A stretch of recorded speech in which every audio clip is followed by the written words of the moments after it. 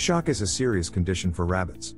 A sudden loud sound or scary situation could end up terrifying a rabbit so much that its body begins to shut down. While this is not a common occurrence for indoor rabbits, it still happens often enough that rabbit caretakers should be aware of the signs and symptoms. This way we can respond to the situation quickly and help our rabbits recover. When a rabbit goes into shock, its body will become still or limp. The heart rate will be slow and difficult to detect, and the rabbit will have pale white gums as a result of circulatory problems.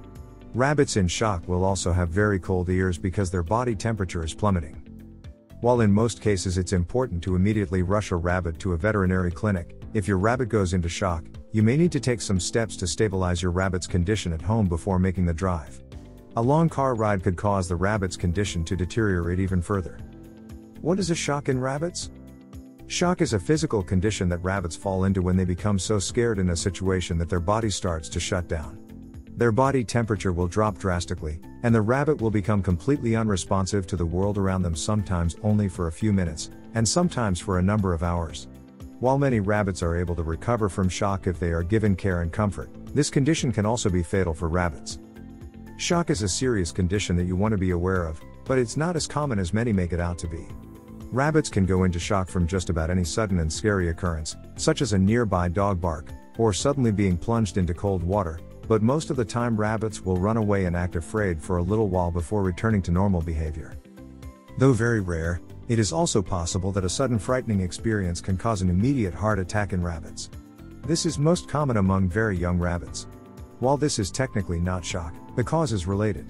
It would still be accurate in both these cases to say the rabbit died of fright. What causes shock in rabbits? Shock can be caused by a number of circumstances in your rabbit's life. Usually, the source of shock is a sudden fear, but it can also be caused by pain or other external stressors, such as a sudden change in temperature. Shock can also be caused by infestations such as fly strike or even a large number of insect stings or bites. The symptoms of shock in rabbits. Medically, what is happening to a rabbit when they go into shock is that their body temperature falls to dangerous levels.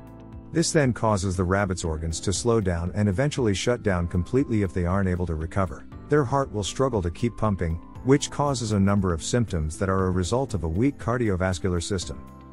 In practical terms, this means the rabbit will become weak, unresponsive, and very cold.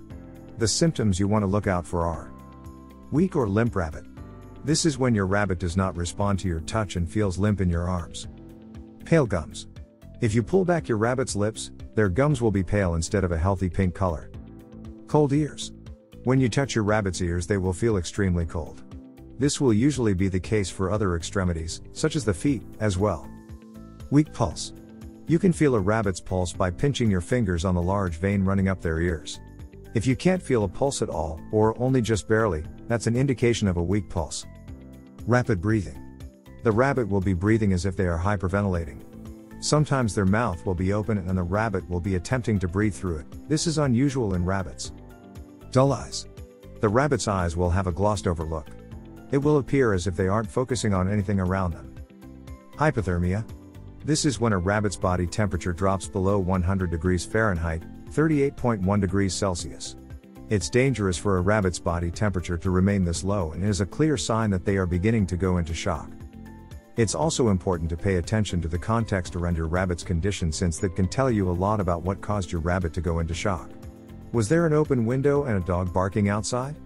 If there is no apparent reason that your rabbit went into shock, it is more likely the result of an underlying illness that is causing pain. Whatever information you can gather to determine the cause can be useful information to give your vet and get advice. They'll be able to treat your rabbit in the best way possible. If the cause is an illness or infestation, these are typically more urgent situations that require immediate attention, whereas rabbits are sometimes able to recover from fear based shock on their own. What to do when your rabbit goes into shock? Normally, my response to any emergency rabbit situation is to immediately get in the car and go to your vet. However, shock in rabbits can be amplified by new stressful experiences, such as car rides. For that reason, it's important to take some basic steps at home before you bring your rabbit for an emergency veterinary appointment. Warm your rabbit. If you notice symptoms of your rabbit going into shock, the first thing you want to do is warm up your rabbit. Wrap your rabbit in a towel and place them next to a heating pad or hot water bottle, but not directly on top of the hot items since they can burn a rabbit's sensitive skin. If you can take your rabbit's temperature, then it's a good idea to do so. This will give you a baseline understanding of your rabbit's condition that you can relay to your veterinarian. Call your vet. The next thing you want to do is call your vet. If you do not have a regular rabbit vet, then you can still call a clinic nearby, explain the situation, and ask for advice. If the veterinary office is only a short car ride away, then it's usually safe to bring your rabbit straight in. You'll want to make sure there is as little waiting time as possible because rabbits in shock can rapidly deteriorate as their body temperature continues to fall. Since small animal veterinary clinics are not as common as those for cats and dogs, it's possible that the closest clinic is a multiple hour drive away. Depending on the severity of your rabbit's condition, your vet may give you the advice to help them improve before making a long car ride. This way you can avoid causing the stress from the car ride to overwhelm your rabbit and make their condition worse. Go for an emergency appointment or follow your vet's instructions.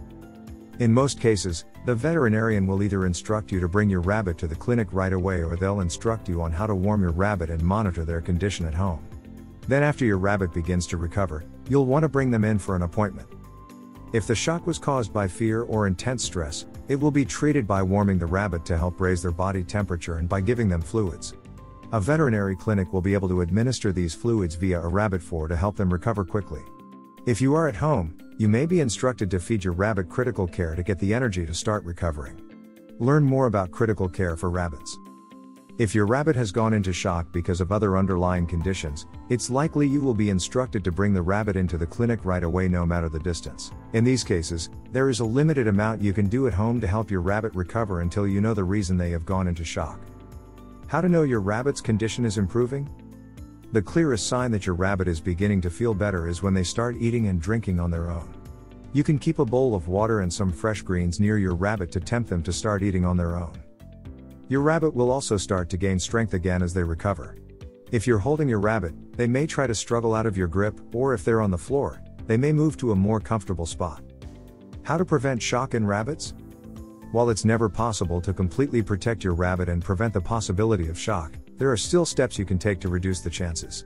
The goal is to help your rabbit feel safe and confident in its daily life. These recommendations can also help prevent shock that would result from infestations and temperature changes.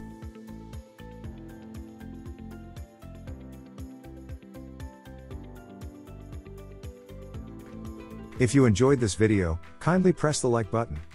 Also don't forget to subscribe with notifications on, so that you don't miss out on videos like this. Thank you for watching.